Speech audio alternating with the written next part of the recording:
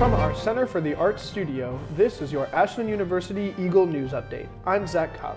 And I'm Logan Gay. Thanks for joining us. Ashland University is beginning to re-examine its core requirements. AUTV20's Chelsea Howman has the story. Both students and faculty believe the core is the heart of the liberal arts education, but that it could use a facelift. I mean, we've got 15 years with the present core, and so now we have some experience with is it actually accomplishing everything that we wanted it to do, and also how does it fit with student schedules? The Faculty Senate and Student Senate have created committees to come up with their ideal core. Uh, with all the prioritizations that, that is going on, uh, the Board of Trustees have created a core committee. The Faculty Senate have created a core committee. And after seeing that, uh, the Student Senate believe that as students, we offer a unique perspective to looking at the core. Although the state has certain requirements, Ashland University's faculty, students, and Board of Trustees are setting some other core guidelines. The faculty need to have a campus-wide conversation about what we're trying to accomplish with the core. What do we need students to get? All students, transfer students, students that start here day one, that kind of stuff. What are we trying to accomplish? What really is necessary? Um, and make sure that conversation includes how does the core complement the majors. The faculty and students both hope to have a final plan submitted to the Board of Trustees before school lets out for the year. We should have a proposal, God willing, by uh, mid-April that we could throw out that we'll have Senate approve and then put out there. This way the Board of Trustees will have something uh, concrete from the students, as I know they're going to have something concrete from the faculty. For AUTV 20, I'm Chelsea Howman. AU is in search of a new president. On February 11th, a search committee selected a small number of candidates to bring in for preliminary confidential interviews. Those interviews will take place by the end of the month. The committee chose candidates who will be a good fit for Ashland based on their submitted materials and reference checks. More extensive interviews will take place in mid-March for the best suited candidates. It's hard to find an AU student in Ashland who hasn't heard of Grandpa's Cheese Barn, but now students will know them for a different reason. They've established an endowed scholarship in business. It's a specialty retail shop. We have over 200 cheeses and a cafe that has homemade soups and uh, sandwiches. Uh, we thought it'd be great for the community, um, help out um, local kids. Um, that, you know, may want to go to AU but don't have the funds to. The students that will be able to, to get it are business students and entrepreneurs um, going into that field and they have to have like a 3.0 grade point average.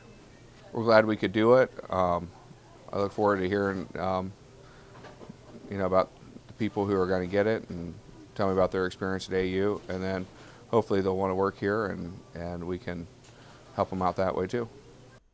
The scholarship will be awarded annually to a student from either Ashland or Summit County who is pursuing a degree in business and maintains at least a 3.0 grade point average.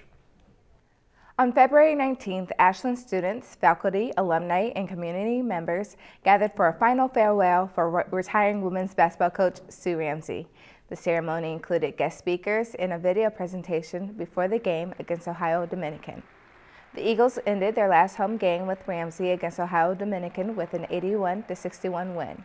Ramsey ends her 20-year tenure with 357 wins under her belt while coaching for the Ashland Eagles. The Career Services Center hosted their annual job and internship fair in Upper Convo on February 18th. Hundreds of students put on their business attire and came to Upper Convo to pass out resumes. TV20's Logan Gay has the story. Career Service Center hosted the annual Job and Internship Fair in Upper Convo on February 18th. Hundreds of students, hopeful for an opportunity to talk to potential employers, put on their business attire and came to Upper Convo to pass out resumes. This semester, the 2015 Career Fair has something for everyone. With a wide variety of employers in attendance, students were able to work on their networking skills and learn what employers are looking for coming here to the career fair every year has been, you know, helpful with me finding an internship. So hopefully I can find that second one. Uh, today I'm pretty, you know, uh, happy with the people that I've met and uh, spoke with. So it was very uh, beneficial. Career Services wants to remind all students that the job and internship fairs are a valuable asset for the job hunt. Reporting for AUTV 20, I'm Logan Gay. Siblings and kids of all ages took a walk in a college kid's shoes this past weekend, except that walk was filled with all fun and no homework. AUTV 20's Haley Hieronymus has the story. Over 100 siblings spent their weekend at Ashland University participating in various events on campus as part of the annual Sibs and Kids Weekend. The theme this year was Ramsey's Rugrats to honor Sue Ramsey, the women's basketball coach, in her last home game on Saturday. Organizers say the packed schedule helped make the weekend a big success the people that had the best time probably took advantage of the whole schedule. I know we saw people that were just like kind of going on and checking off everything on the schedule, and they seemed to really enjoy themselves. The schedule included performances, recreational events, baking and convo, and crafts. The performance from the Chicago Boyz was a big hit. The acrobats performed fascinating stunts and were interactive with the crowd. My favorite part was when they held each other on top of their shoulders and they jump roped. Sibs and Kids Weekend gives younger kids a chance to see what college is all about, while hopefully turning them into future students. We have been very intentional in planning safe and fun activities for them and for them to get a taste of what AU is like. And hopefully, when they grow up, maybe this might be a right place for them as well. Reporting for AU TV 20, I'm Haley Hieronymus. With spring break just around the corner, we asked AU students about their plans. Here's what they had to say for spring break. I'm going back home, going back to New York. Uh, haven't seen my family since Christmas, so I'm looking forward to going back home and getting to see all them. I'm going to Florida to go to Harry Potter World. I'm going over to Italy, and uh, I wanted to go over there because it was uh, looked interesting and fun, and be a new experience for me. So. Um, for spring break, I'm just gonna stay home and relax and do some homework. Uh, well, I leave Thursday and I am going to Louisville for the Louisville Jazz Festival. And me and the jazz band, uh, we're leaving Thursday, and we're going to be there all weekend, and we're going to come back Saturday. And after Saturday, I actually wake up early Sunday, and I'm going to Miami with a bunch of my fraternity brothers, and we're going to have fun down there along the beach. I'm going to Canada for four days with my with my friend. Well, um, this spring break, I'm just going to be eating and sleeping. That's just about it. Just kind of really chill and take a break from all the schoolwork. That's just about it.